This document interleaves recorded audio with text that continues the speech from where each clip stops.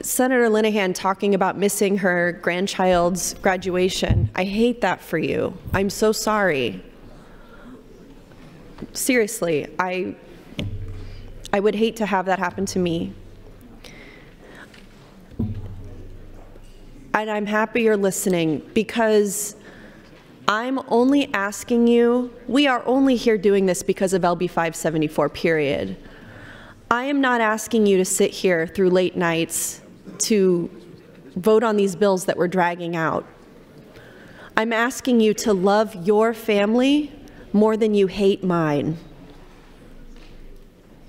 I'm asking you to love your family more than you hate mine. If your family wants you home to recover from surgery, maybe you should do that. If you want to go see your grandson graduate from preschool, you should do that.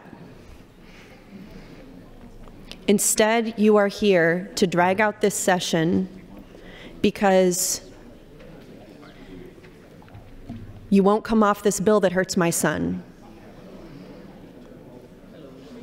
You hate him more than you love your own family, and that's why you're here. And so, you know, go to the graduation. Go recover from your surgery. We don't need you here. We need you to vote no or present not voting on 574 because, you know, there's nothing else in this body that's affecting your family that way.